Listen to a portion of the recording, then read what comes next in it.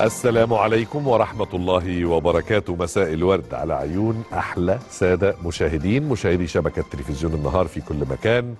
حلقة جديدة من برنامجنا آخر النهار مع تامر أمين. حلقة يوم الثلاث الموافق 4 أكتوبر 2022 ما زلنا نعيش في الحالة الأكتوبرية. أيام وليالي شهر أكتوبر شهر النصر والمجد والعزة والفخار. والنهاردة الحقيقة كان يوم مختلف بامتياز لأنه كان وقائع الندوة التثقيفية اللي أقامتها القوات المسلحة المصرية بحضور السيد رئيس الجمهورية والقائد الأعلى للقوات المسلحة شيء مختلف وشيء يدعو للفخر بجد يعني. وأنا متأكد إنه جزء كبير من حضراتكم تابع آه، فعاليات هذه الندوة التثقيفية أو تابع فعالياتها بعد كده حتى وأجزاء منها لأنها كانت مختلفة وفيها مشاعر مختلفة. ويمكن أفضل أفضل وصف هو الوصف اللي أطلقته القوات المسلحة كعنوان لهذه الندوة التثقيفية رقم 36 عنوان ندوة اليوم كان إرادة وطن أكتوبر إرادة وطن. والحقيقة إنه ده معنى وعنوان لخص كل شيء لخص كل شيء يمكن أن يقال عن الملحمة العسكرية والشعبية العبقرية اللي اتعملت في 6 أكتوبر 73 وما أعقبها من أيام كانت شاهدة على ملاحم كثيرة لكل أفرع وأسلحة قواتنا المسلحة الباسلة. اللي بنوجه لهم الحقيقة مش بس حب ومش بس إعزاز ومش بس تقدير بنوجه لهم أقصى آيات الامتنان. لأن أنا الحقيقة قلت الكلام ده من سنين طويلة جدا وأنا يمكن يعني عجزت شوية بس كان ليا شرف تقديم بعض حفلات أكتوبر في آه، التسعينيات. الدولة كانت بتقيم أيضا ليالي أكتوبرية وحفلات أكتوبرية ومناسبات وطنية بمناسبة احتفال أكتوبر. وأنا شاركت وأنا مذيع صغير لسه في تقديم حوالي أربع أو خمس حفلات. وكان دايما الهاجس والدافع اللي بي بي بي بيشحن معنوياتي وبطارياتي وأنا بقدم الحفلة وشايف واقع ورد فعل الناس كمان الحاضرين أو سواء المشاهدين في البيوت إنه المناسبة مناسبة أكتوبر مناسبة غير ليست ككل المناسبات.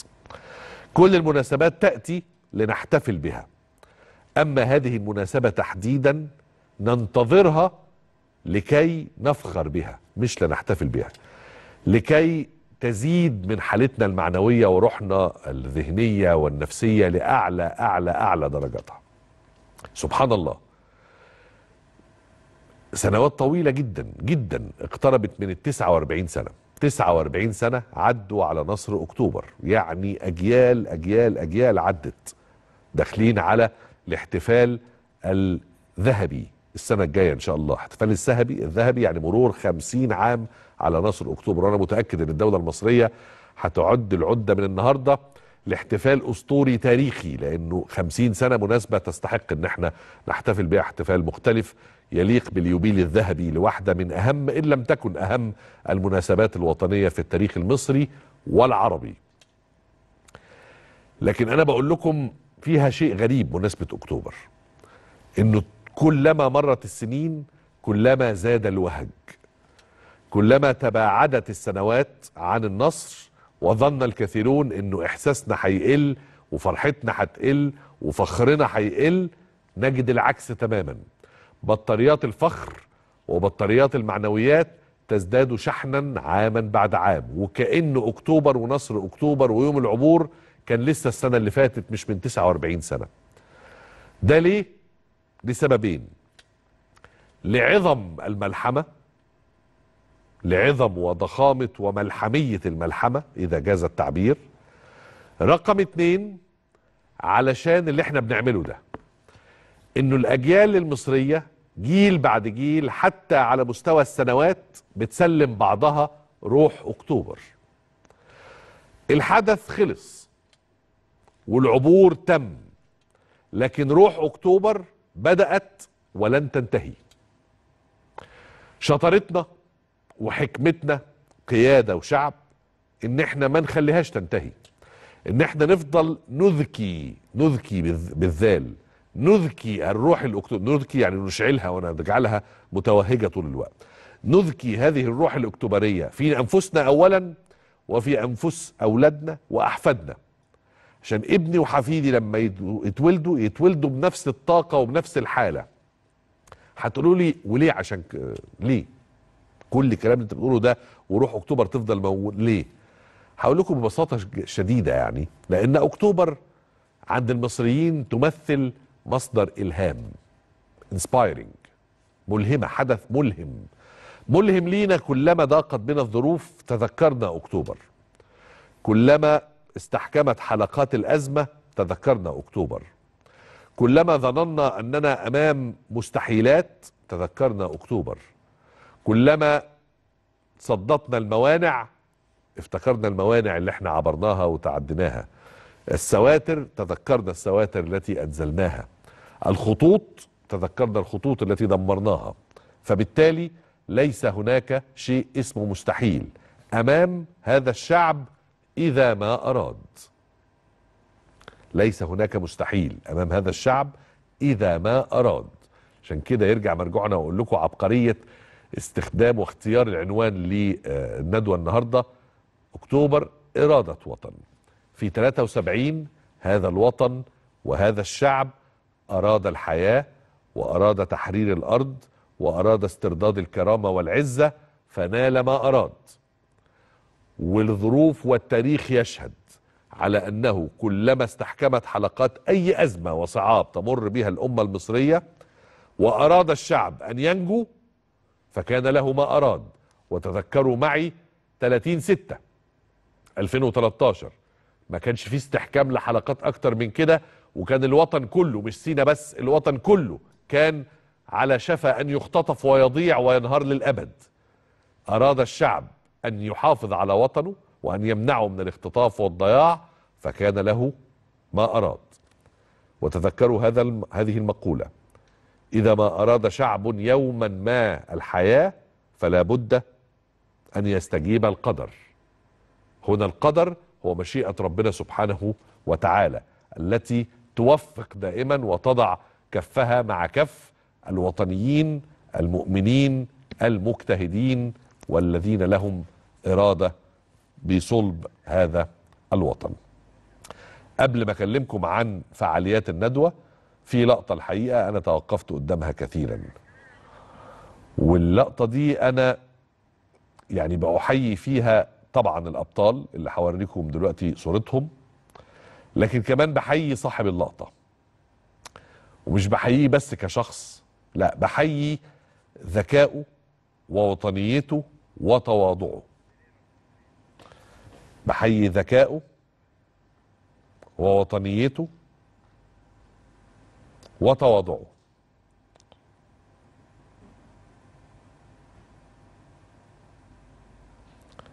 السيد الرئيس عبد الفتاح السيسي اللي الحقيقة كل مرة بيثبت لنا إنه رجل متواضع جدا وضع دائما الأمور في نصابها الصحيح ويزن مقادير الرجال. يزن مقادير الرجال. يعني إيه يزن مقادير الرجال؟ يعني بيدي للناس حجمهم ووضعهم حتى في حضوره. المفروض إن رئيس الجمهورية موجود القائد الأعلى للقوات المسلحة موجود يعني أعلى رأس في المؤسسة العسكرية وأعلى رأس في الدولة موجود. ومع ذلك وفي حضوره يقف ويقدم التحية العسكرية احتراما وإجلالا لأبطال حرب أكتوبر من الكتيبة 139 اللي قدموا ملحمه عظيمة. زي ما حضراتكم شفتوا في المشاهد اللي إحنا بنذاعها لحضراتكم دلوقتي. هؤلاء الأبطال اصطفوا على المسرح ليتلقوا تصفيق وتحية جميع الحاضرين وكان ممكن أي رئيس أو أي قائد يكتفي بهذا. الناس طلعوا على المسرح وخدوا حقهم وخدوا السكسي وخدوا الكريدت وخدوا القدر الذي يستحقوه من الحب والتحية والإجلال والتقدير.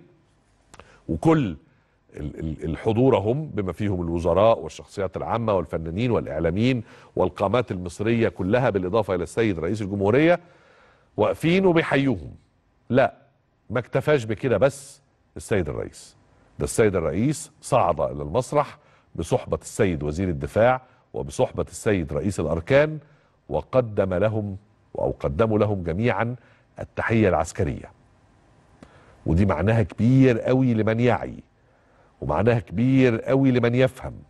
وطبعا العسكريين عارفين أكتر مني ومن حضراتكم كمدنيين معنى هذه التحية العسكرية. بصوا حضراتكم قيادات الدولة العسكرية وعلى رأسهم القائد الأعلى للقوات المسلحة يصطفون ويقدمون التحية العسكرية لأبطال أكتوبر هذا الجيل العظيم الذي أراد له- الله لهم أن يمد في أعمارهم حتى يتلقوا هذا التكريم ويروا بأعينهم فرحة وفخر المصريين بيهم.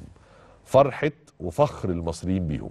عشان كده بقول لحضراتكم أنا سعيد أن لدينا رئيس جمهورية بهذا الذكاء وهذه الحكمة وهذا التواضع. وصعب قوي تجتمع هذه الصفات في شخص يتولى هذه المسؤولية الثقيلة. حكمة وتواضع ويضع موازين الرجال في أماكنها. أنتوا عارفين الرسول صلى الله عليه وسلم قال أنزلوا الناس منازلهم. أنزلوا الناس منازلهم أي أعطوا للناس أقدارهم لما حد يستحق إنه يتحط في حتة معينة ما تستهينوش بيه ما تذلهوش ما تحطوش من قدره. والحقيقة إن السيد الرئيس بيعمل كده طول الوقت بيضع الناس منازلهم وبيضع الناس في أقدارهم التي يستحقونها. عشان أقول لكم إن دي مش لفتة كده سريعة أو ولدة اللحظة أو كذا لكن ده شيء أصيل جوه السيد الرئيس. تذكروا معايا اللقطة مش فاكر اللي حصلت في أنهي مناسبة اللقطة اللي حصلت لما كان السيد الرئيس في الحضور أيضا في القاعة وكان على المنصة آه، من المتحدثين اللواء الدكتور سمير فرج المفكر والقيادة العسكرية المصرية الكبيرة التي نفخر بها أيضا. وكان بيتكلم فالدكتور اللواء سمير فرج بيقول كده وهو في معرض حديثه بيقول أنا خدمت مع سيادتك يا فندم وهو بيكلم السيد الرئيس. فالرئيس السيسي وقفه لو تفتكروا ساعتها ودي لقطة يعني آه، مشهورة جدا وأعتقد حضرتك فاكرتها. فالسيد الرئيس وقفه في الكلام وقال له لا عفوا أنا اللي كنت بخدم مع سيادتك يا فندم. وقال له الجملة الشهيرة العين ما تعلاش عن الحاجب. هو ده الرئيس السيسي وهي دي شخصية الرجل الذي يدير هذا الوطن بكثير من الحكمة وكثير من التواضع وكثير من التوفيق من ربنا سبحانه وتعالى لأن الله لا يوفق سوى المجتهدين. واحدة من الفقرات الغنائية الفنية الجميلة اللي اتعزفت النهاردة وكانت من فعاليات الندوة التثقيفية أغنية الله أكبر اللي غناها المطرب العظيم صاحب الحنجرة الذهبية التي لا تبلى ولا تتقادم الفنان الكبير مدحت صالح. معايا على التليفون الدكتور جمال سويد مؤلف أغنية الله أكبر. الدكتور جمال مساء الخير. تامر ازيك إزاي حضرتك؟ إن شاء الله تكون بخير. الحمد لله يا فندم. كل سنة وأنت طيب. كل سنة وحضرتك طيب والمصريين جميعا بخير بمناسبة هذه تعود وتسلم. علينا الأيام بالنصر دايما يا رب. اللهم آمين. وتسلم الأيادي على رأي الأغنية القديمة على الأغنية الجديدة. الله يخليك. الحمد لله ربنا وفقنا. نحن نطلع. الحمد لله. قول لي أنا عارف إنه كل أغنية مبنية على فكرة والفكرة مبنية على وحي. فقول لي بقى بداية وحي الفكرة. والله إحنا كنا بنعمل آه، أنا وصديقي الدكتور آه، أشرف طبيب أسنان ملحن كبير مم. قلنا نعمل حاجة وطنية لمصر. حلو. وعملت حاجة أوبريت آه، أوبريت اسمه العبور. آه. والعبور كان بيتكلم على عبورين عبور 6 أكتوبر وعبور 30 يونيو. كويس. لأن اعتبرت إن 30 يونيو كان عبور من ظلام مخيف لنور. صحيح. و... و... وعملنا الأوبريت على هذا وكان في فقرات غنائية وفقرات بتتقال شعر فقدمنا الحقيقة الأوبريت لهيئه الشؤون. ووافقوا على الفقرة المغناة وتم تكليف الأستاذ الكبير الصوت الذهبي آه، مدحت صالح إنه يغنيها والحمد لله لقد قبول يعني الحمد لله طبعا الكلمات ممتازة والتلحين آه، أعطاها موسيقى ونغمات رائعة وطبعا صوت مدحت أنت عارف بيحلي كل لا حاجة صوت طبعا. مدحت يغطي هيغطي على الكل طبعا. لا لا العفو لا ده هو بس مجرد بيحل الحلية الحلية اللي فوق لكن لازم يبقى المحتوى جميل عشان المنتج كله في النهاية يلقى هذا القبول ورد الفعل طبعا طبعا الممتاز طبعا من طبعا. الناس. معاك معاك جنبي أهو الدكتور أشرف الدلجاوي ملحن ال- طيب أتواصل. معاه لو سمحت. مساء الخير يا فندم. مساء الخير يا دكتور ازي حضرتك؟ تحيا مصر قبل أي حاجة. تحيا مصر ألف مرة. ألف مرة. وبكرر شكري لحضرتك زي ما ذكرت دكتور جمال وتسلم إيديك لحن وموسيقى ممتازة الحقيقة زينوا الكلمات. الله يخلي حضرتك ده من ذوقك. وإحنا حبينا نعمل حاجة لمصر اللي اللي ادتنا كتير. مصر صحيح. ادتنا كتير قوي. يعني إحنا حتى في الكارير المهني بتاعنا أستاذ جمال كمحامي وأنا كطبيب أسنان آه. مصر ادتنا كتير قوي. صحيح. حبينا نديها حاجة بسيطة. يعني حاجة بس نقول نقول بيها بنحبك يا مصر لا لا وانت كطبيب أسنان عملت النهارده تقويم موسيقي عظيم. الله يخلي حضرتك. والحقيقة كمان أنا متأكد إنه يعني يمكن الواحد ممكن يبقى هوايته التأليف أو التلحين في مناسبات عديدة لكن مناسبة أكتوبر لو أنا بعملها بصراحة زيكم أكيد هعملها بحب وبقلب أي حاجة لمصر نعملها بحب وقلب. صح. أكتوبر 30 يونيو أي حاجة. مظبوط. أنقذت مصر. والربط اللي عملتوه ما بين أكتوبر و30 يونيو كمان كان ربط ذكي قوي. ما هو ده العبور الأول والعبور الثاني صحيح العبور صحيح. الأول 6 أكتوبر العبور الثاني في 30 يونيو. صحيح صحيح صحيح. آه صحيح. ده اللي أنقذ هذا الوطن الجميل العظيم اللي يا رب كل الناس تحبه قوي لأن هو يستاهل فعلا هذا الوطن العزيز الغالي. يستاهل كل الحب. صحيح. أنا بشكرك يا دكتور. وتكاتف الجميع. طبعا. ونبقى كلنا إيد واحدة كده يا رب وما يفرق بيننا أي شيطان. ده الدكتور جمال اللي رجع لنا صح؟ آه. آه مش كده؟ أنا آه يعني برضو النبرات بتفرق معايا. تحياتي لكما وربنا ما يحرمنا من هذه المواهب اللي أمتعتنا وأسعدتنا النهارده بالاوبريت وبالاغنيه الجميلة. اللي هنشرك المشاهدين في الاستمتاع بجزء منها دلوقتي أغنية الله أكبر. الله أكبر على اللي شارك في العبور. جملة تحمل كل المعاني الحلوة اللي جوانا لكل آه، فرد مش بس لكل قيادة لأنه دايما القادة والضباط واللي في المقدمة دايما هم اللي في الذاكرة وهم اللي بيتم استضافتهم في البرامج وبيتذكرهم الإعلام وما إلى ذلك. عشان كده مهم قوي إن إحنا النهارده نفتكر كل من شارك كل ما معنى كلمة كل من شارك وخطط وفكر ونفذ في ملحمة العبور العظيمة في 6 أكتوبر. والنهاردة عجبني قوي كمان بصراحة يعني عجبتني قوي الجملة اللي قالها السيد الرئيس لأبطال حرب أكتوبر. قال لهم كده قال لهم إحنا آسفين. قال لهم إحنا آسفين إذا كنا افتكرناكم متأخر شوية. وقد كده هذا الرجل لديه رقة وعذوبة وإحساس آه، آه، راقي. وأنا سعيد أن هؤلاء الناس اتكرموا قبل رحيلهم عن الدنيا لأنه فرق كبير قوي أن تكرم الإنسان في حياة عينه وأمام آه، ناظريه وفي حضور أسرته وأقاربه وأصحابه ويظل يتفاخر بهذا التكريم ما تبقى له من العمر أو أن تكرم اسم المرحوم فلان الفلاني. طبعا كلاهما جيد بس الأفضل أن يكرم الإنسان في حياته على ما قدمه في حياته. عندي تقرير عن بعض اللقطات اللي إحنا توقفنا عندها كفريق برنامج آخر النهار في هذه الندوة التثقيفية اللي هتظل عالقة في أذهاننا وأنا من النهاردة مترقب الندوة التثقيفية والاحتفالية الكبرى. إن شاء الله ربنا يحييني ويحييكم العام القادم العام الخمسين اليوبيل الذهبي.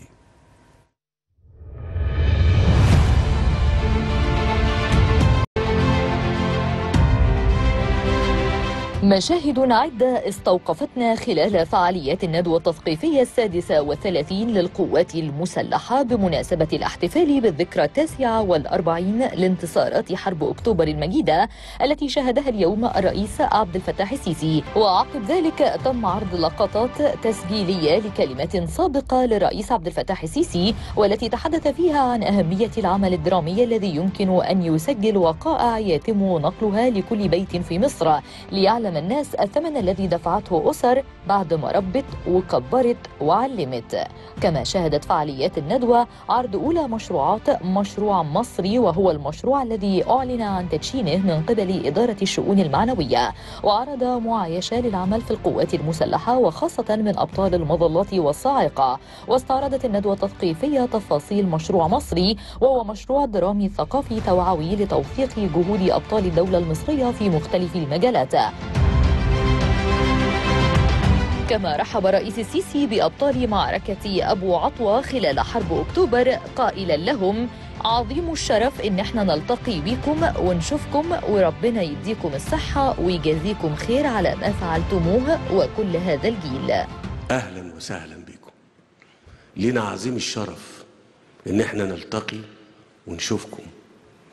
وكل الناس اللي موجودة مش بس اللي في القاعة في مصر يشوفوا الناس يشوفوا الرجال. أو من تبقى من الرجال. أو من تبقى من الرجال.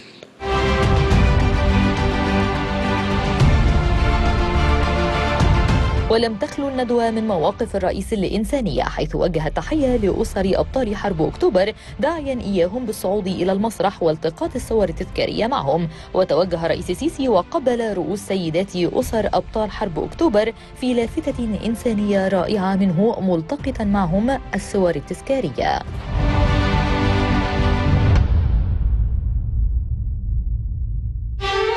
وإحنا بنتكلم عن الاحتفالية الجميلة اللي حصلت النهارده وزي ما أنا قلت لحضراتكم هي مش مجرد احتفالية بمناسبة وطنية هي حالة حالة عامة بننتظرها من السنة للسنة. اولا علشان نشوف حضور السيد الرئيس واحتفائه بهذه المناسبة العظيمة واحتفائه وسط أبطال أكتوبر اللي بنتذكرهم. ومهم قوي إن إحنا كمان نشوفهم ونوري ولادنا وأحفادنا هؤلاء الأبطال اللي صنعوا التاريخ وحافظوا لنا على بلدنا لحد ما توصل لنا هذه الأيام بعزة وكرامة وهي مرفوعة الرأس وليست منقوصة السيادة كمتر مكعب واحد من أرض مصر. أنا اتكلمت عن اللقطات واتكلمت عن الفعاليات واتكلمت عن حنكة وقيادة السيد الرئيس ولقطاته ومواقفه الإنسانية في هذه الاحتفالية. بس مهم قوي قبل ما اختم الكلام اتكلم عن الجندي المجهول في هذه الاحتفالية. ويجب أن يتحول هذا الجندي المجهول إلى جندي معلوم لحضراتكم. هذا الجندي المجهول هو الشؤون المعنوية للقوات المسلحة. هذا الكيان الذي يقف وراء هذه الاحتفالية طبعا قواتنا المسلحة كلها هي اللي بترعى وتنظم وتشرف وتعد لهذه الاحتفالية. لكن القطاع الذي يتولى الترتيب والإعداد ويكون مكلفا بتنفيذ هذه الاحتفالية على أكمل وجه هو هيئة الشؤون المعنوية اللي بصراحة رجالها في كل مرة بيثبتوا إنهم رجال إنهم قد المسؤولية وكل مرة عندهم القدرة على الإبهار مش بس الإمتاع أو الإفادة أو إن هم يعملوا احتفالية كويسة ومنظمة لا ما زالوا قادرين على إبهارنا طول الوقت بهذا التنظيم وهذا الإيقاع وهذا الحس. ودي يمكن أبرز حاجة بتميز كل عمل بتقيمه الشؤون المعنوية للقوات المسلحة. طبعا التنظيم ليس غريبا على رجال القوات المسلحة طول الوقت. والتخطيط وتنظيم الفقرات والإيقاع المتراتب المتتالي المنطقي أيضا ليس غريبا. لكن اللي يتوج هذا الإيقاع وهذا التخطيط وهذا التنظيم الحس الوطني الممزوج بالمذاق الفني. الحس الوطني الممزوج بالمذاق الفني ومعاه لمسة إنسانية بتخلي كل الحاضرين سواء الحاضرين في القاعة أو حتى المشاهدين في التلفزيون يبقوا متواصلين ويبقوا طول الوقت موجودين جوه الحدث وفي قلبه مش خارجه. وكل شوية تحاول تمنع دموعك قدر الإمكان من النزول لأنك في شدة التأثر. عشان كده أنا بوجه التحية للواء ياسر الإسريجي رئيس هيئة الشؤون المعنويه وكل أفراد الهيئة اللي أنا متأكد إن هم ما ناموش الليل وواصلوا الليل بالنهار خلال الأيام الماضية حتى يقدموا لنا هذه الاحتفالية بأبرز شكل ومضمون الندوة التثقيفية 36 الحقيقة توجت احتفال الدولة المصرية بنصر أكتوبر في ذكراه التاسعة والأربعين. كل التحية لكل من ساهم في هذه الاحتفالية. شكرا جزيلا. على التنظيم وعلى الحس وعلى الإنسانيات. لمحة تانية ولفتة تانية من الاحتفالية الأغنية الجميلة اللي تغنت بيها الصوت المصري الجميل شيرين عبد الوهاب وانت ماشي في أرض سينا. هناك شخص أنا متأكد إنه بيبقى مش بس سعيد ولا فخور لا كمان بيبقى حريص على إنه يكون اسمه موجود في قائمة الشرف في أي مناسبة وطنية خصوصا فيما يتعلق بنصر أكتوبر. هو فنان متعدد المواهب ودايما لمسته إبداعية وفيها الحس الوطني الحقيقة تشعر بيه يتغلغل جواك. الصديق العزيز والمؤلف الدكتور مدحت العدل مساء الخير وتحياتي يا دكتور مدحت. مساء الفل يا أستاذ سامر ازي حضرتك يا حبيبي؟ وكل سنة وأنت طيب والمصريين والعرب كلهم بخير بمناسبة نصر أكتوبر. كل سنة وأنت طيب يا حبيبي ودايما نحتفل ولمستك معانا. يا رب يا حبيبي إن شاء الله دايما في احتفالات ونواجه كل التحديات ونعمل حاجات عظيمة إن شاء الله. اللهم آمين. أنا عارف إن أنت يعني حتى لو لم تكلف أنت بتبقى حريص إن تبقى موجود لأنه بتحس ده الدور الوطني للفنان أو للشخصية العامة. أه الحقيقة آه أنا يعني ال- ال- الأجيال الجديدة يا أستاذ سامر ما تعرفش حاجة اسمها عبور أصلا. صحيح. والحقيقة إحنا مقصرين حق هذه الأجيال ما نقدرش نلوم عليهم نلوم على نفسنا. مم. إن إحنا لا عملنا أفلام عن الحرب ولا عملنا كذا ولا عملنا كذا. فبنلاقي مناسبة زي دي زي ما حضرتك قلت وأنا سامعك إن الشؤون المعنوية عاملة شيء رائع جدا. صحيح. وعاملة تنظيم مبدع ومبهر وانت قلت كلمة عجبتني الإيقاع. آه. آه. لأن ال- الإيقاع سريع وم- و... و... وماشي مع إيقاع الدولة ماشي مع إيقاع الرئيس نفسه فالإيقاع صحيح. حلو وجميل وشيك و... وكلنا قعدنا ما حسيناش بالوقت خالص وهو بيعدي علينا. مظبوط مظبوط. مهم كنت- مهم قوي يا دكتور مدحت زي ما حضرتك قلت إنه في ناس تقول لك أنتوا لسه بتحتفلوا بهذه المناسبة رغم تباعد المسافة. الهدف اللي حضرتك قلته ده مهم جدا جدا. فكرة إنه الأجيال الجديدة لازم تفضل مشحونة بروح أكتوبر. طبعا لأن على فكرة في كتب كتيرة جدا كتب تاريخ بره بتقول إن إحنا ما انتصرناش أصلا. آه للأسف. فإحنا لازم نبقى حريصين كل الحرص على قوتنا الناعمة وحريصين إن إحنا نقول لهم لأ إحنا انتصرنا وعملنا. والحقيقة بص أنا يعني أنا اتفرجت على ال- اللي كنت موجود في الاحتفالية. سيبك من الأوبريت بتاعي وسيبك من كل ده اللفته اللي عملها الريس آه. الحقيقة. آه. وهي جت عفو الخاطر وأنا متأكد الراجل سيناريست وابقى فاهم إيه اللي مترتب وإيه اللي جه عفو الخاطر. صح. لما قرر إن هو يقف مع من رجال من دهب ويأدي التحيه العسكرية للقوات 73 مظبوط. الحقيقة أنا قلت لهم ده كان المفروض يبقى نهاية الاحتفالية لأن أي حاجة بعده انتي كلايمكس دي لو كانت مترتبة بس حضرتك قلت إنها جاية عفو الخاطر وبتلقائية السيد. الرئيس. آه. وت... وتأثرنا تأثر غير طبيعي بهذا الامتنان صح. وهذا الإحساس بالجميل اللي سبقوه. ده على فكرة مش عاده مش عادتنا إحنا بيعمل معبد يلغي اللي قبله. صح صح. لا وفيها تواضع كبير من القائد الأعلى للقوات المسلحة. طبعا. فهذا هذا التواضع وهذه الإنسانية اللي هي شبه الإنسان المصري البسيط اللي. هو واحد مننا. مظبوط. الحقيقة كانت كانت حاجة يعني أثرت فينا بشكل غير طبيعي وإحنا قاعدين بنتفرج. صحيح صحيح. و... و... والحقيقة آه، السرعه وال... والفيلم بتاع يقين. آه. البنت وفيلم مصري وكل حاجة كانت آه سبحان الله بقى ده تحس ده ده ده السيناريو بقى. شوف حتى عارف زي فيلم وإسلام زمان اللي هي كان اسمها جهاد؟ أيوه. ال الاسم بتاع البنت سبحان الله مدينا آه، إحساس. يقين. آه سبحان الله. سبحان الله من عند ربنا من عند ربنا وكأنها رسالة قبل ما يكون اسم البنت.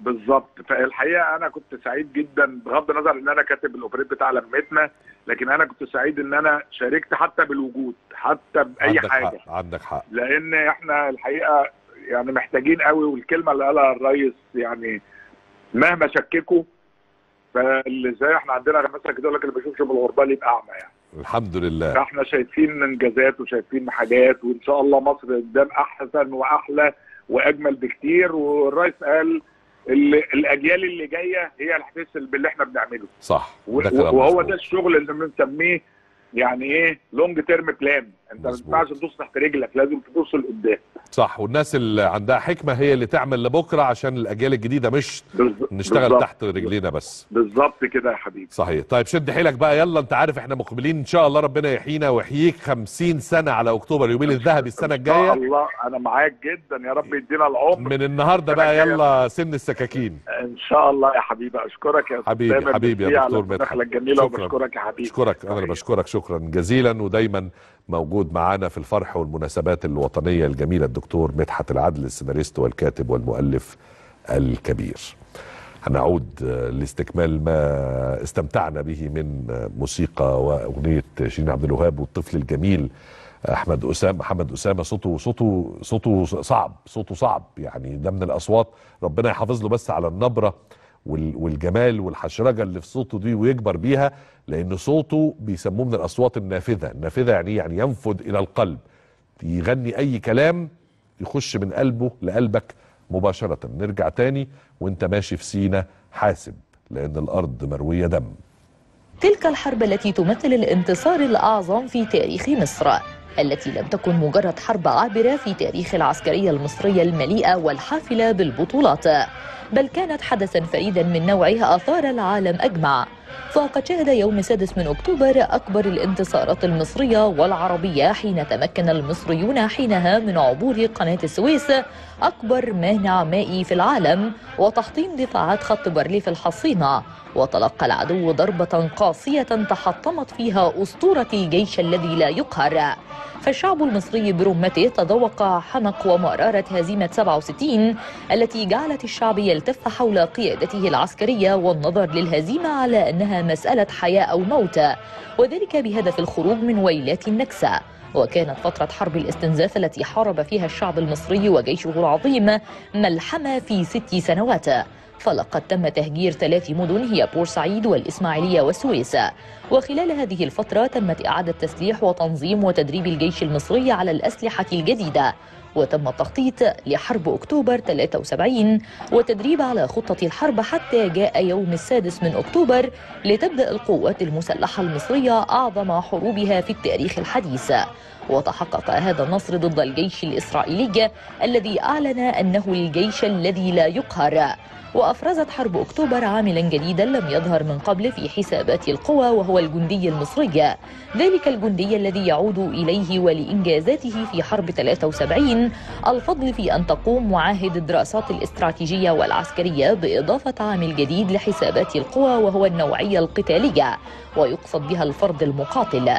ذلك العامل الذي غاب قبل 73 عن كل الحسابات والتقديرات مما أدى إلى نتائج مغلوطة عن تفوق الجيش الإسرائيلي. وما زلنا نتذكر اليوم الأسود في تاريخ إسرائيل يوم التاسع من أكتوبر عندما وقفت جولدا مائير رئيسة وزراء إسرائيل وبجانبها موشي ديان وزير الدفاع في مؤتمر صحفي شهير لتعلن هزيمة إسرائيل وأن الدولة تصارع من أجل البقاء אנחנו נמצאים עכשיו במלחמה שאיננה דומה לשתי המלחמות הקודמות, למלחמת ששת הימים ולמערכת קדש. המלחמה הזאת קשה, התנגשויות חריפות, מהירות, שריון ואוויר.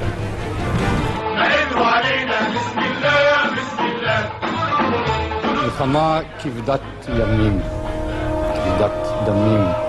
עכשיו אנחנו בעיצומה של המלחמה, ואיננו יכולים, איננו יכולים, לתת את הביטוי הציבורי עכשיו לאבל הכבד. من أهم نتائج حرب أكتوبر استرداد السيادة الكاملة على قناة السويس واسترداد جميع الأراضي في شبه جزيرة سيناء واسترداد جزء من مرتفعات الجولان السورية وتحطيم خرافة الجيش الذي لا يقهر وعودة الملاحة في قناة السويس ووضوح تأثير التضامن السياسي العربي بالإضافة إلى ما أحدثته الحرب من تغييرات عميقة في كثير من المجالات على الصعيد المحلي لدول الحرب وعلى الصعيد الإقليمي للمنطقة العربية وانعكاساتها على العلاقات الدولية بين دول المنطقة والعالم الخارجي خاصة الدول العظمى. إسراء سعد آخر النهار.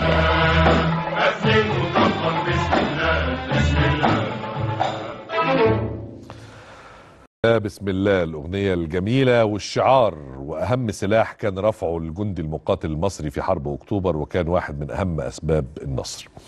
زي ما قلت لحضراتكم 49 سنة مرت على ذكرى انتصارات أكتوبر المجيدة وما زالت هذه الملحمة العسكرية العبقرية تفضي بدروس بنكتشفها يوم بعد يوم والملحمة دي زي ما قلت لكم بتدرس في المعاهد العسكرية الدولية لحد النهارده عن عبقرية المقاتل والتخطيط المصري. وأهمية كبيرة قوي إن إحنا بنحتفل وبنتكلم ونذكر مش بس عشان نذكر أنفسنا لا عشان أجيالنا الجديدة كمان تتعلم وتفهم. وعند كلمة الفهم أرجوكم أن ترحبوا معي بضيفي العزيز اللي مشرفني ومنورني النهارده على الهواء مباشرة في استوديو آخر النهار لواء دكتور هشام الحلبي مستشار أكاديمية ناصر العسكرية وعضو المجلس المصري للشؤون الخارجية. أهلا وسهلا. أهلاً مشرف ومنور يا فندم. أهلا وسهلا. كل سنة وحضرتك طيبين والساده المشاهدين ومصر والدول العربية بخير. كل سنة وحضرتك طيب وأقدم تحيتنا آه، لك ولكل أفراد المؤسسة العسكرية اللي في مثل. هذا اليوم. رفعتوا راسنا وخليتوا راسنا توصل للسحاب لله. الحمد, الحمد لله. مشرف ومنور. الله يخليك حضرتك متفق معايا إنه الأجيال الجديدة تستحق أن تفهم ودي نقطة مهمة جدا جدا أن تعرف ماذا حدث والأسباب والكواليس وراء الأمور السياسية والعسكرية والقرارات المهمة اللي اتخذت في هذا التوقيت صحيح يعني تستحق وأنا شايف إن أنا أضيف كمان لازم لازم ده طوق نجاه. ليه؟ لأنه هو أي دولة بتتعرض لتهديدات وتحديات على مر الزمن. مظبوط. وخاصة الدول اللي في المنطقة العربية. وخاصة مصر بحكم الموقع. صحيح. طول عمرنا لو بصيت في تاريخ مصر كده تلاقي كل 50 100 سنة في حرب دي تبعت المنطقة. وبالتالي آه، لما ألاقي تحديات وتهديدات كبيرة وضخمة جدا والعالم كله حتى كفكر عسكري يقول لك مش هتقدروا تعملوا حاجة قبل آه، 73 آه. والموضوع انتهى وخلص تماما وإحنا آه، آه، آه، نعمل ثلاث اقتحامات رئيسية لثلاث خطوط دفاعية قناة السويس والستر الترابي وخط بارليف في ست ساعات بسلاح دفاعي قديم. وبالتالي ده يعني أنا أنا حضرتك قلت نقطة مهمة بتدرس هي فعلا بتدرس في الأكاديميات بره. آه. أنا درستها في أمريكا وأنا باخد أركان حرب أنها الحالة المثالية لقوات مسلحة أقل في الإمكانيات حققت اهداف على قوات مسلحة أعلى بكثير منها في الإمكانيات اللي هي إسرائيل. كانت موجودة بتدرس في المعاهد بتدرس. حتى الآن في هذا بقول لك لما تحب تشوف قوات مسلحه قليلة قوي. حققت اهداف على مستوى على قوات مسلحه أعلى هنا بكتير جدا. هات الحالة المصرية أعلى. كتجهيز ومعدات يعني. طبعا. آه. أعلى في كل حاجة حتى في التحالفات. آه. وبالتالي هات الحالة المصرية الإسرائيلية في 73 مفهوم. ده حقيقة. لأن طب طبعا هنا هنا يا فندم ودي نقطة مهمة ليها علاقة كمان بالروح اللي موجودة النهاردة عند الشباب. الشاب اللي ممكن يبقى في مقتبل عمره وعنده بعض اليأس وبعض التشاؤم وبيواجه بعض الصعاب. أنا أعتقد إنه مفيش صعاب ومفيش حالة أصعب من اللي كانت موجودة بعد 67 زي ما حضرتك تفضلت حتى بالنسبة لأفراد الجيش يعني ناس في الجيش وعارفين إن هم أقل عتادا وأقل تسليحا وأقل جاهزية كل حاجة. وأقل وأقل من التحالفات و و ومع ذلك دخلوا الحرب وعندهم يقين إن هم هينتصروا. صحيح هي النقطه كانت الحرب علم. فأنا لو درست بصورة علمية وده كان بقى المنهج العلمي الصحيح الدراسة بصورة علمية والبحث عن حلول غير تقليدية لمشاكل بالغة التعقيد. حط تعديل من دون خط. البحث عن, عن حلول غير تقليدية. تقليدية. آه لمشاكل لمشاكل بالغة التعقيد. التعقيد. دي عظمة هو آه، آه، في ثلاث خطوط دفاعية عليهم ثلاث خطط نيران. قصد حضرتك زي مثلا الفكرة العبقرية بتاعت الستر. الترابي. يعني ستر الترابي الخبراء في العالم قالوا عايزين قنبلة ذرية تكتيكية تعمل لكم فتحات فانت عايز حوالي 19 فتحه 20 فتحه عايز 20 قنبلة. لا معاك ولا حد هيديهم لك. فهم خلاص أنتوا الموضوع بالنسبة لكم منتهي. لما يحصل فكرة إن بمضخات مية لها مواصفات خاصة نعمل هذه الفتحات ده حل غير تقليدي صحيح. لمشاكل عملياتية بالغة التعقيد. صح. عندك حق. ودي عندك حق. طبيعة المصريين. فأنا عشان كده بقول لحضرتك إيه؟ أنا أول درس مستفاد. لما تلاقي تحديات ومشاكل قدامك هي مش هتنتهي. مبدئيا خلينا أنا مش هتنتهي بالنسبة لمصر. تمام. ضربت الموقع وإحنا في قلب القلب من المنط- المنطقة العربية والمنطقة العربية قلب العالم. صح. العالم كله علينا. وعايز كل حاجة من فشعب الوطن ده لازم طول الوقت يبقى واعي للفكرة بالظبط أنا واعي لأي تهديدات صح. لما ألاقي بقى تهديدات ضخمة وكده ارجع للتاريخ وشوف المصريين في 73 ده كانوا بيعدوا القوات المسلحة وهم بيحاربوا في حرب الاستنزاف أيوه صح. يعني دي نقطة مهمة قوي أنا عايز أقول لحضرتك عليها وللساده المشاهدين بعد 67 تم إعداد القوات المسلحة للحرب ودي كانت بطولة.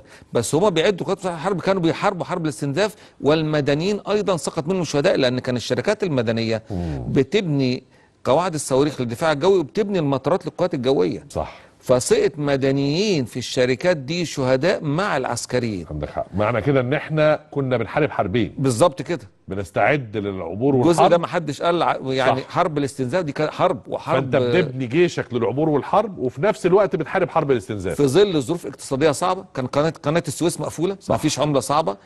العالم كله بينظر لنا نظرة المنهزم ومحدش راضي يدينا سلاح ليه؟ قال لك أنتوا انهزمتوا. ببساطة شديدة أديك سلاح تنهزم بيه تاني فالسلاح سمعته هتسوء فمش هبيع. ده business. واللي بيخلي أمريكا تت- تتدخل في الحرب بعد 73 لأنه لن يقبل أن ينهزم السلاح الأمريكي الحديث أمام سلاح روسي قديم. الموضوع business برضه تمام تمام. هو إيه اللي خلاه يدخل ويديهم بنى لهم جيش تاني بعد أثناء الحرب. صح. فطبعا الموضوع خلينا نفهم الموضوع في صورته الأشمل والأكبر والأكبر بالنسبة للعالم كله في توازنات كتير. وبالتالي آه، ما بقول برضو أرجع للشباب وده حق الأجيال بقوله ده حق وده إلزام علينا إن إحنا. صحيح صحيح. إن أنت حضرتك لما تلاقي اجتهادات وتحديات بص لأجدادك وشوف عملوا إيه ودور على تاني دور على حلول غير. تقليدية. والصورة الحقيقة اللي فيها بطولة كبيرة جدا ال- المفارقة اللي حصلت ما بين مثلا وحضرتك طبعا لواء طيار ما بين صورة قواتنا الجوية في 67 وطياراتنا بتتضرب على الأرض وما صحيح. بين 73 وطياراتنا بتعمل ضربة جوية هي اللي مهدت لكل النجاحات اللي على بعد فكرة كده. هي هي نفس أنواع الطيارات. يعني ال ال ال إسرائيل كان عندها طيارات الجيل الثالث أيوة. اللي هي الفانتوم والسكاي هوك طيارات فيها رادار مدى بعيد. صواريخ رادارية صواريخ مدى أبعد. إحنا عندنا كانت طيارات الجيل الأول والثاني اللي هم الميج 17 والميج 21 ما فيش رادار تسليح قليل جدا مدى قليل جدا لما تحط الاثنين قصاد بعض العسكري مفيش مقارنة هطلع أعمل إيه؟ ده أنا هتضرب من من البداية أيوة. لما تحصل معركة المنصورة وطيارات زي الميج 21 توقع 17 طياره فانتوم من الجيل الثالث وتفشل الضربة ال- نقص الإمكانيات حافز للإبداع وليس آه مبرر للفشل. مبرر للفشل الله عليك. دي نقطة دي نقطه. مهمة. حلو قوي دي نقطه دي نقطة. نقص الامكانيات حافز للإبداع. ما هو ده اللي حصل في 73 يعني يا فندم بقول لحضرتك هو على فكرة ما اسموش عبور. عبور ده في وقت السلم اسمه اقتحام. آه. لأن بتضرب عليا نار. هو مش اقتحام خط بارليف دول ثلاث خطوط دفاعية. في نظرية اسمها نظرية الأمن الإسرائيلية. بتقول إيه؟ ببساطة شديدة. الناس دي بتدرس. أيوه. فبتقول لك إحنا لا نتحمل حرب خارج الحدود داخل الحدود. عمق استراتيجي قليل جدا في الجنوب تحت يوصل 6 7 كيلو. فلو حربوا داخل الحدود تضيع منهم الدولة كويس. داخل الحدود. الفرقه المدرعة بتفتح تشكيل معركة تا- 20 كيلو في 20 كيلو لا فرقة مدرعه دخلت جوه انتهت إسرائيل. مظبوط. فقال لك نحارب خارج الحدود. فنحتل أرض خارج الحدود ونعمل خطوط دفاعية عليها خطط نيران خارج الحدود نموت اللي جيلنا خارج الحدود. تمام. وهي اسمها الحرب والمعركة دايما بره وهي اسمها نظريه اسمها نظرية الحدود الآمنة. الحدود الآمنة. بالمناسبة نظرية الأمن الاسرائيلي بتتغير كل شوية لازم عارفين إيه النظرية دي ومدى تغيرها كل شوية. تمام. نظرية صح الخطوط الدفاعية نظرية صح وعلى مر السنين من قبل حرب يعمل خط دفاع عليه تحصينات وخطط نيران. هي الذكاء إن أنا ما احاربش في أرضي. بالظبط. آه يعني منطقي تمام. منطقي.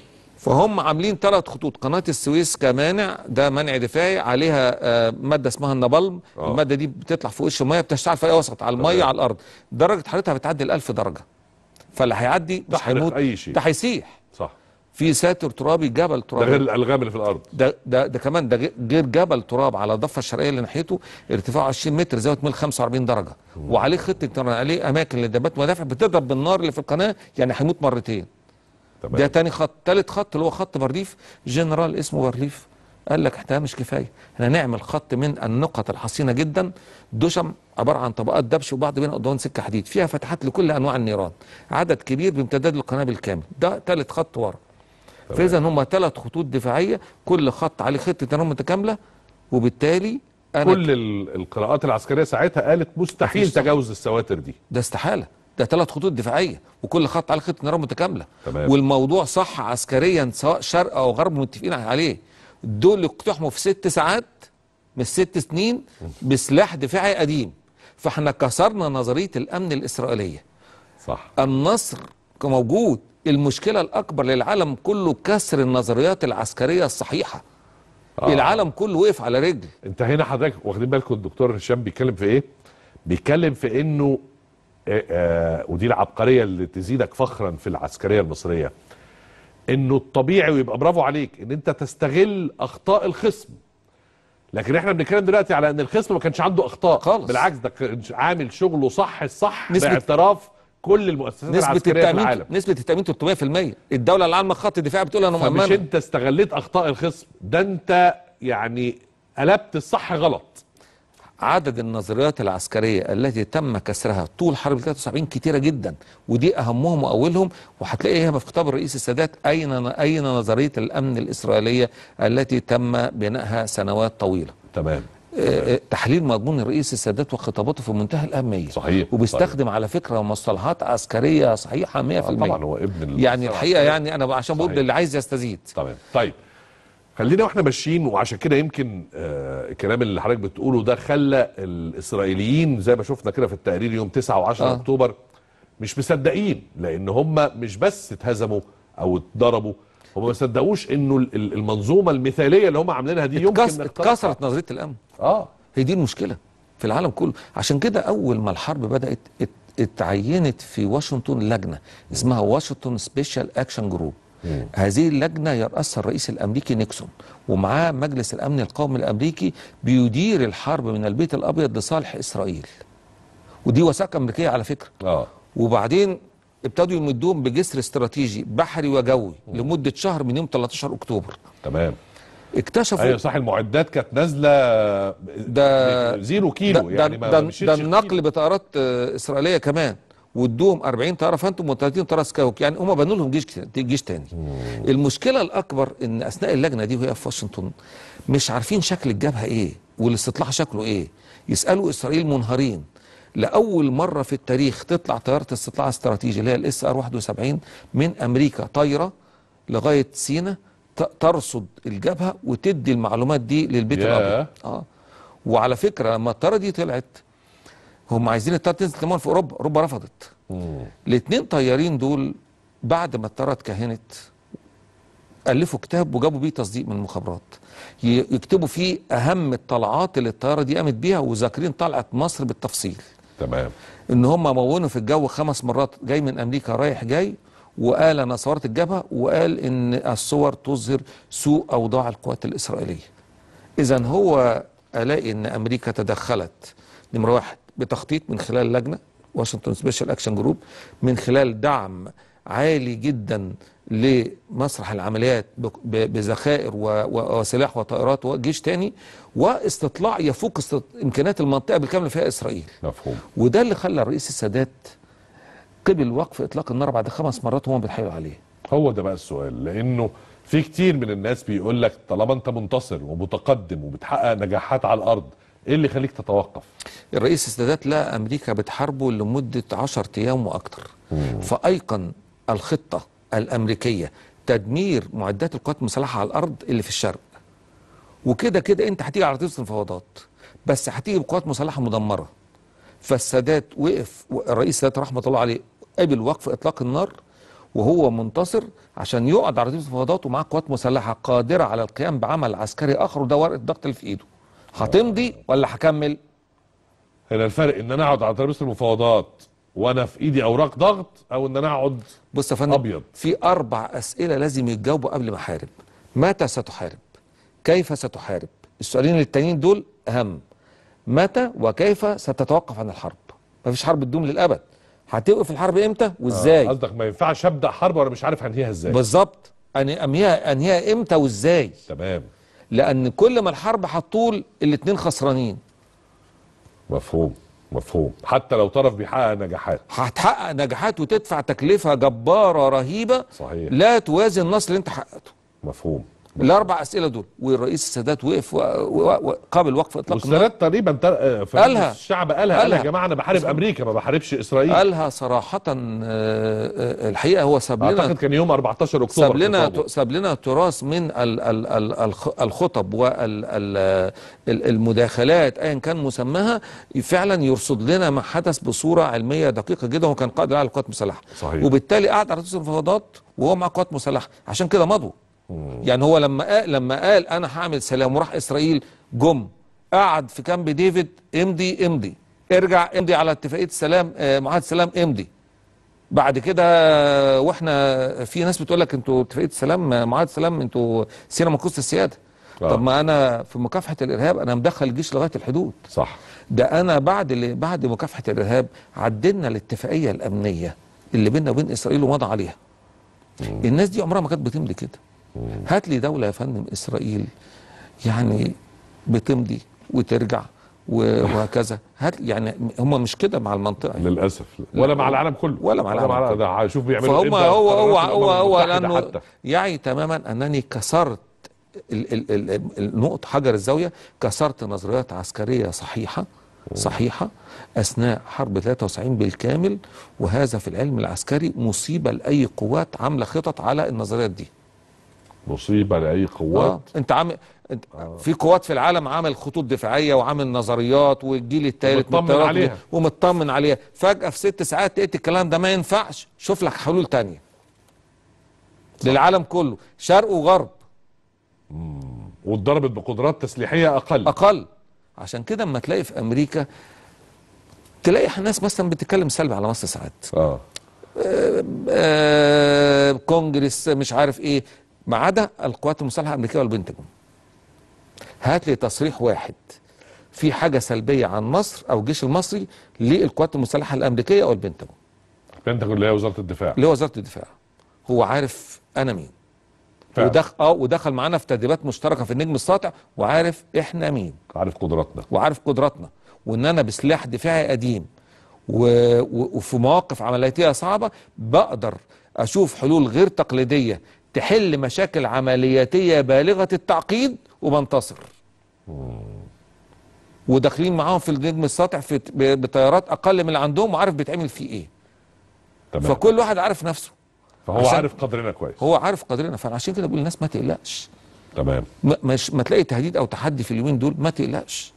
ما تقلقش. دور على حلول تقليديه النصر جاي. بس ممكن. ننتصر وإحنا على أي حاجة. طيب السؤال بقى المهم كمان وإحنا الحقيقة أنا سعيد بشفافية حضرتك في طرح كل الأمور عشان الأجيال الجديدة طبعا. تعي وتفهم. ما بين كل الوقائع اللي العالم كله اعترف بيها تجد والحقيقة مش ولدت النهارده منذ سنوات الطرف الإسرائيلي بيطنطن بين الحين والآخر أنه صاحب النصر في أكتوبر. اولا ده أمر متوقع. متوقع. ليه بقى؟ هل أنا متخيل إن إسرائيل تذكر الكلام ده صراحة في كتبها وتكسر أجيال موجودة عندها؟ يعني حط نفسك مكان العدو. أنا هقول له والله المصريين عملوا ثلاث اقتحامات رئيسية في ست ساعات ودي كانت نظرية خطوط دفاعية وإحنا كنا معتنقينها واتكسرت ودخلونا وجابونا على ترابيزة فضات تعالى تعالى اقعد اقعد امضي امضي ارجع ارجع. ده دي الحقيقة. هقول الحقيقة أكثر أجيال عندي. فالطبيعي والمتوقع إن أنا أعمل مغالطات كثيرة بواسطتي أو بواسطة غيري مش لازم كحكومة آه، يعني. آه، طبعا. هدخل ناس إعلاميين أبحاث كلام من ده بتاع. يعني أقول غير الحقيقة يعني. فده هو يقول اللي يقوله. يعني. أنا شايف إنه هو خلينا نفكر بفكر العدو. آه. ما أنا دايما يعني حتى في مصطلح كده حتى في الغرب بيقول لك إيه wear your enemy uniform يعني ما تقعدش تفكر دايما بأسلوبك باستمرار. حط نفسك شوف العدو هيعمل إيه. صح. هيعمل كده. أنا أملك الحقيقة. أطلع الحقيقة باستمرار وبصورة محترفة وبسيطة ومستمرة للأجيال اللي موجودة واللي جاية لأن ده طوق نجاة مش ثقافة. طوق نجاة. طوق نجاة من المغالطات اللي بتتقال لأن المغالطات دي لو استمرت يوم ورا يوم وسنة ورا سنة ما يكرر يستقر في. في الذهن. وحكى إعلامي وعارف. صحيح. طيب أنا هروح لفاصل قبل الفاصل عايز ال الكلام المهم اللي قاله اللي هو دكتور هشام فيما يتعلق بدروس وعظات أكتوبر أهمها إنه على الأجيال الجديدة ألا تقلق لأنه النصر قادم قادم إن شاء الله. إذا ما تسلحت بنفس الأسلحة اللي تسلح بها أبطالنا وقادتنا في أكتوبر سلاح الإيمان والثقة بالله. رقم اثنين اختراع وإبداع الحلول غير التقليدية أيوة. لحل المشاكل بالغة التعقيد. صحيح. لا مظبوط؟ لا ما- أنا بشكر سيادتك. العفو يا فندم. بعد الفاصل هنرجع نكمل.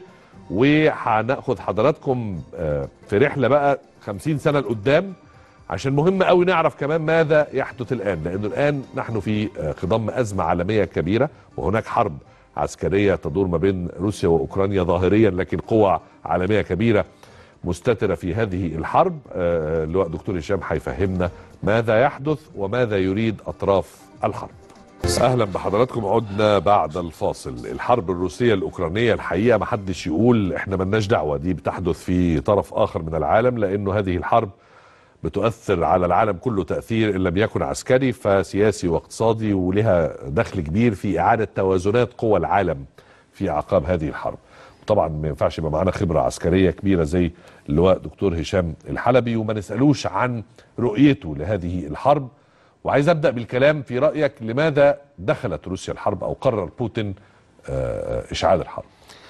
اولا آه، في نقطة مهمة جدا قبل الحرب أنه في تعاون آه، روسي أوروبي في مجال الغاز. صح. ثلاث خطوط أنابيب غاز آه، طوله أكتر من ألف كيلو متكلف عالي جدا في حدود الخط الواحد 11 مليار يورو وهم عايزين الغاز الغاز سلعة استراتيجية في المقام الأول. صحيح. فدايما التعاون الاقتصادي في المجال آه، طاقة استراتيجي بالمنظر ده بيجيب تعاون اقتصادي أكبر من كده على مدى السنين القادمة. مفهوم. والتعاون الاقتصادي الممتد لأنه هيمتد سنين بالخمسين والمئة سنة بيولد بيئة أمنية متوافقة. صح. هنتوافق أمنيا بشكل أو ما لأن إحنا غصبا عندنا مصلحتنا تقتضي كده. التوافق ال- أنا بص بقى بعد 20 سنة هتلاقي في توافق عالي جدا ما بين روسيا وأوروبا اللي الأمر اللي ممكن تلاقي روسيا دي جزء من الاتحاد الأوروبي مش لازم تبقى عضو يعني. آه، مفهوم. لا أو وفي تعاون أمني. تمام؟ يبقى دي النقطه م- مش مظبوطة خالص بالنسبة لأمريكا. النقطة الثانية أنه توجد شراكة استراتيجية ما بين روسيا والصين. مظبوط. هذه الشراكة في مجالات متعددة وبتتنوع باستمرار. فهنقول بعد 20 سنة هيبقى روسيا ليها جناحين قويين. بالظبط كده. صح كده. وده هيكون على حساب الولايات المتحدة الأمريكية. أكيد. يبقى لازم المخطط إن أنا أجر روسيا من اتجاه الشرق إلى اتجاه الغرب. بلاش الصين. وورطها في حرب هذه الحرب مسرح العمليات أوكرانيا لكن هذه الحرب تضرب العلاقة بينها وبين أوروبا. كويس. وبالتالي أنا كده حققت كأمريكا هدفين. صح. جر روسيا وسحبها من ناحية الشرق خلاص هو دلوقتي إمكانياته كلها في اتجاه الغرب. وأيضا ضرب العلاقة اللي بينهم اللي هي الحقيقة كانت مبنية على طاقة ومصلحة الاثنين صح. خط النوردين بتاع الغاز واحد وكان بيتعمل مع بالظبط نوز آه، واحد واثنين نورد ستريم الثاني. مع ألمانيا. صح. دي مش قضية كمان ضرب ال- العلاقة الاقتصادية. العلاقة السياسية في أسوأ حالاتها. صح. النقطة المهمة أن هذه الحرب ستدار على المسرح الأوكراني بس بفلوس أوروبية في المقام الأول. وبالتالي أنا كأمريكا هدفع أقل القليل. صحيح. يبقى أنا أقل تكلفة هدفعها كلام فاضي. طيارات بدون طيار ومشات مدافع وبالفعل لحد. دلوقتي أمريكا هي أقل الخاسرين. وفي مكسب عالي جدا لأن أوروبا هتشتري منه سلاح من أمريكا سلاح بصوره عالية جدا. وفي دول زي السويد وفنلندا هيخشوا الحلف الأطلنطي فعايزين سلاح غربي عشان يتسلحوا هياخدوا من أمريكا. فاذا أي خسائر حتى في الاقتصاد الأمريكي هيعوضها بالسلاح وهو لما تجمع الخسائر والمكاسب هو الكسبان. تمام. تمام؟ تم تضخيم الخطر أن أوكرانيا هتخش حلف الشمال الأطلنطي وهذا الخطر يزداد باستمرار. الأمر الذي أدى إلى روسيا أنها تقتحم أوكرانيا. تمام. عشان ما تخش تحت حلف الشمال الاطلنطي صح. ونفذت ال- ال- الأمريكان عايزين في فبراير. في فبراير. مظبوط. تمام. في خطأ استراتيجي إنه لما دخل أوكرانيا دخل على أربع جبهات كبار. آه. لو جبنا الخريطة يوم 16 مارس أيوة، في اتفضل. خريطة هنا يوم 16 مارس هتلاقي الخريطة الخريطة. في جو... الأحمر ده ده القوات الروسية في أوكرانيا. الأحمر اللي فوق في الشمال ده الجبهة جبهه كييف مظبوط. جبهه كييف جبهه كبيرة جدا ومسافتها من الحدود الروسيه 600 كيلو يعني بيعمل إمداد من 600 كيلو. وجبهه آه طبعا. ضخمة. واسعة قوي يعني لا والمسافة كبيرة. متقدم طبعا، 600 كيلو. دعم لوجستي ولا طبعا. دعم جوي. وجبهه كبيرة. الجبهه الثانية اللي هي جبهه خاركيف اللي هي في الشمال ال- الشرقي من أوكرانيا. أيوة. فدي تاني هي جبهه في الشمال في الش- بالظبط. اللي هي في الشمال. ركن الخريطة اليمين فوق. آه. الجبهة الثالثه اللي هي إقليم دونباس اللي فيه جمهوريتين اللي كانوا عايزين ينفصلوا مظبوط. تمام؟ الجبهة الرابعة اللي هي شمال القرم اللي هي خرسون. يبقى أنا داخل حرب على أربع جبهات كبار الجبهة لوحدها في حدود 200 250 كيلو. دي عايزة دولة. تمام. عايزة جي- يعني نقسم القوات المسلحة على أربعة منهم جبهتين يعني في منتهى الصعوبة اللي هم جبهه كييف وجبهه خرقيف وهذا. خطأ استراتيجي. إذا أردت أن تكون قويا في كل مكان ستكون ضعيفا في كل الأماكن. إذا أردت أن تكون قويا في, كل, مكان, هتكون ضعيف في كل الأماكن. هتكون ضعيف في كل الأماكن صح. النقطة الثانية هل حضرتك كروسيا حسبت السيناريوهات المستقبلية قبل ما تحارب إن أنت مش هتحارب أوكرانيا ده أنت هتحارب تحالف فيه 30 دولة بقيادة أمريكا؟ لا بس أعتقد هو أكيد كان عارف الحكاية لو كان عارف ما كانش دخل على أربع جبهات. فعلا؟ ما هو أنا أنا بعرف عارف ولا لأ إزاي؟ إن هو بعد كده انسحب من على جبهتين. آه. هل عارف إن آه، هذا طب مش التحالف- يمكن أنا هنا طبعا بسأل. آه لأ اتفضل. الأسئلة كلها مشروعه آه. مش يمكن حقق أهدافه التكتيكية خلاص وبقاء القوات آه، لو لو جبنا داعي. الخريطة الثانية وحطينا خريطتين تحت بعض يديك الإجابة على السؤال. هات الخريطة لو الثانية الخر... يا أنس. الخ... أدي دي الخريطة دي يوم 2 أكتوبر. من أر- من يومين. من يومين. آه. هات هات نحط الخريطتين جنب بعض بقى كده بتاع 16 مارس. أدي الخريطتين. آه. هل يعقل إن أنا ك... الخريطة اللي على اليمين اللي على اليمين دي دي 16 مارس يعني بعد ثلاث اسابيع من الحرب. يعني آه يعني من سبعة أشهر. بالظبط كده. يعني تمام. بعد ثلاث أسابيع من الحرب هو شغال على أربع جبهات دول. حاليا من يومين بص بقى الجبهة الجبهتين اللي فوق دول انسحب منهم. تمام. هل يعقل كقوات مسلحة إن أنا أروح أفتح على جبهتين وأخسر بقى كل موضوع من دول خسائر؟ على فكرة خسائر المهاجم أكتر من المدافع.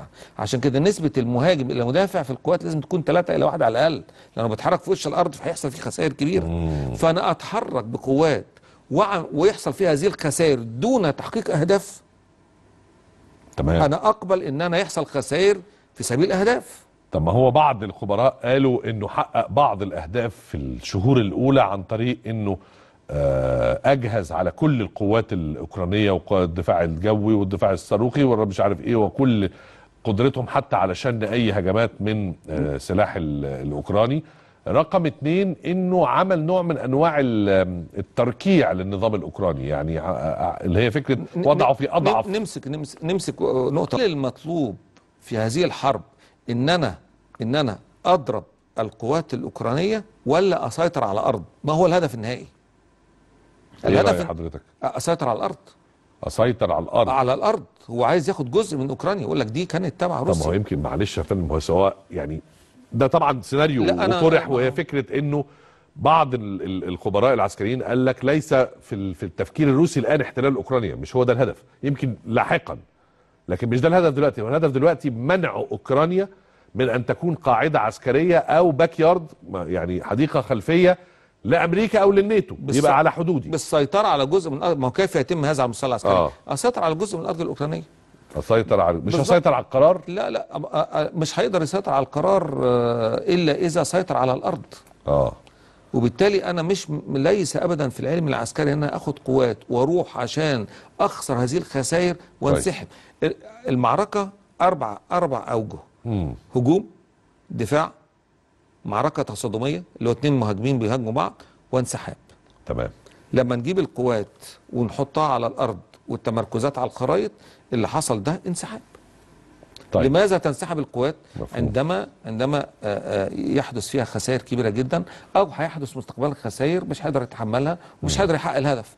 فأنا لا قادر أحقق الهدف والخسائر هت- هتكبر بنسحب. طيب ال ال العنصر المهم اللي حضرتك آه، ذكرته في البداية هو عنصر الغاز اللي هو بيسموها ورقة القوة اللي في إيد. صحيح. روسيا واللي ابتدت أوروبا دلوقتي يعني تصرخ منه. صحيح. ده في مو- موازين القوى العسكرية أهميته إيه؟ طبعا ما نقدرش نعرف الموقف ده غير لما نفهم الاقتصاد والعسكرية ماشيين جنبا إلى جنب. تمام. الغاز الض... الغاز والعقوبات. آه. ده ده ده يمتلك ورقة ضغط روسيا الغاز وهم يمتلكوا العقوبات. فالاثنين كل واحد بيمتلك أوراقه في النقطة دي.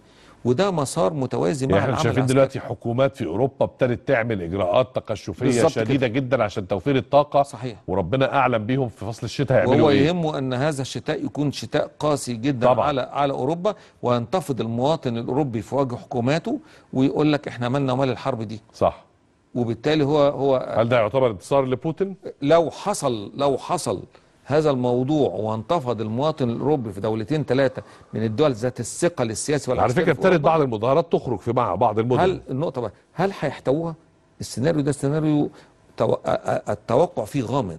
صح. هل هيحتووها هل هيقدروا يجدوا بدائل غاز بسرعة؟ مم. هل هيقدر يلاقي محطات نووية ويشغل إذا كانت واقفة بدائل الفحم يتحرك في العالم؟ النقطة دي هم نفسهم مش قادرين يحكموها لغاية دلوقتي. مظبوط. فالشتاء ده شتاء حاسم في الحرب ال- الروسية الأوكرانية في بعد الاقتصادي وما أقدرش أفهم الحرب دي غير لما أفهم الاثنين مع بعض المسار الاقتصادي مع المسار العسكري. عشان كده هتلاقي المسار العسكري دلوقتي فيه هدوء. فيه هدوء. صح. هو ابتدى ياخد يعمل تصويت وياخد ال- الأربع مناطق دول ويجيب باحتياطي 300 ألف يسيطر على المناطق دي بصورة آه، قوية. تمهيدا لينتظر ماذا سيحدث أثناء هذا الشتاء في المجتمع الأوروبي والمواطن الأوروبي؟ حضرتك هنا قلت نقطة مهمة إنه أي دراسة لحرب فيها أربع أسئلة. إزاي وإمتى هبدأ؟ أيوه. وإزاي وإمتى؟ هتوقف. هتوقف. هو هل السؤال ده عارفه؟ هو ما أعتقدش إنه ينفع بعد ينفع. ينفع جيش مخضرم كبير لقوة عظمى زي روسيا ما يبقاش عارف البديهيات اللي حضرتك. بتقولها؟ لا ممكن. يا نهار أبيض. أنا عايز أقول لحضرتك على حاجة. اتفضل. في التحليل الاستراتيجي آه، امسح واهمل أسماء الدول. آه. ليه؟ أحيانا بيتولد انطباع مبدئي إن دي قوة عظمى فأنا بيحصل خطأ في التحليل الاستراتيجي إن أنا دايما بقول مش هيغلطوا. بهول من قدراتهم. آه. أو أقول دي قوة صغيرة مش هتقدر تعمل حاجة. وده دايما في فرق بين الانطباع والرأي. صح. الرأي الرأي مبني على بيانات تم إخضاعها لكذا فلتر عشان أتأكد البيانات صحيحة وبعدين أستخدم أدوات تحليل صحيحة وبعدين أصل لرأي. ده الرأي. وعادة بيكون صحيح أو رأي ورأي آخر صح. الانطباع الثلاث حاجات دول مش موجودين. أنا بشوف دي قوة عظمى مش ممكن. أوكرانيا لا ده صغيرة. لا هتتاخد في أسبوع. فاللي بي في التحليل الاستراتيجي أنا ما بشتغلش على انطباعات ولا على أسماء. حلو. خالص. أنا بشتغل على خرائط وأضع قوات على الأرض زي ما إحنا عملنا كده. أحسنت أحسنت. تمام؟ ودايما بقول حتى المسار ال- هنا المسار إحنا في حرب عالمية في وضعها الاقتصادي. آه مظبوط. وحضرتك يعني قلت إن الاقتصاد والعسكرية هنا والعالم جنبا إلى مش جنب. العالم كله متأثر اقتصاديا فإحنا. في حرب عالمية اقتصادية وعسكرية على المسرح الأوروبي. صحيح. لأن هم كلهم بيدعموا بسلاح وذخيرة. طيب بعيدا عن ما في رأس بوتين والله أعلم به سيادتك في رأيك متى يمكن أن تنتهي هذه الحرب؟ تنتهي هذه الحرب عندما تنهك جميع الأطراف. تنهك جميع الأطراف. جميع الأطراف.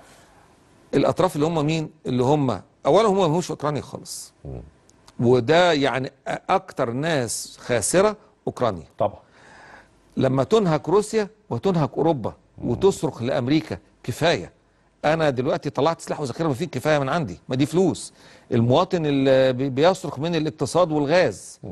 العقوبات دي جزء منها بيرد في وش تاني. صح.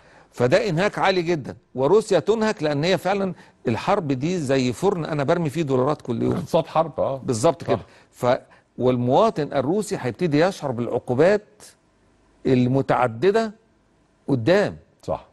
والسلاح والذخيرة دول هيجيب منين تاني؟ ما هو ده هياخد من من ومع من كل اللي حضرتك بتقوله هياخد ده من بق المواطن. تظل أقل الخاسرين أمريكا. ده ده إن لم تكن كسبانه لأن أنا ما احسبش الخسارة اقتصاد وتضخم عنده. لا احسب برضو السلاح اللي هيبيعه. تمام. وأنا ببص الخسائر ببصش اللي هو بي- مش بس سلاح. سلاح لا يبيعه وتحقيق أهداف استراتيجية. بالظبط كده. تسوى إيه بالنسبة له في كفلوس إن هو يورط روسيا هذه الورطة؟ صحيح. تسوى إيه؟ إن هو يبعدها عن عن الصين دلوقتي بت... على الحياد. حتى في التصويت بتقول لك أنا ممتنع عن التصويت في مجلس الأمن. فتسوى إيه؟ تسوى كتير. يسوى إيه؟ إن إن إن روسيا تنخفض بهذا المنظر وتتكسر هيبة القوات المسلحة الروسية. مفهوم. أنا ما بشتغلش على التصريحات الإعلامية. دايما التصريحات الإعلامية في الحرب زي ما إحنا كنا بنقول إسرائيل بتقول دي حرب نفسية. ما إحنا بتقول إحنا انتصرنا. دي حرب نفسية بس آه. أنا بقول له تنتصر إحنا نجيب القوات ونحطها على خرائط. ونشوف مين اللي انتصر. زي ما إحنا عملنا كده. هو ده الكلام. مين اللي انتصر؟ آه، الجيش المصري. بالظبط كده. بالظبط. شرفتني ونورتني وأنا. سعدت جدا جدا بالحوار مع. سيادتك وإن شاء الله يبقى لنا لقاءات. قادمة قريبا. إن شاء الله. شكرا جزيلا. كل سنة وحضرتك طيب شرفتني ونورتني. شكرا لحضراتكم. النهارده كانت ليلة أكتوبرية بامتياز عشان نحتفل بأجواء أكتوبر انتصار مصر العظيم. افتكروا دايما إن إحنا انتصرنا وإن إحنا قادرين دايما على الانتصار. وازرعوا هذه الروح في أولادكم وأحفادكم عشان الأجيال المصرية اللي تطلع تبقى دايما محتفية بهذا النصر. تصبحوا على خير.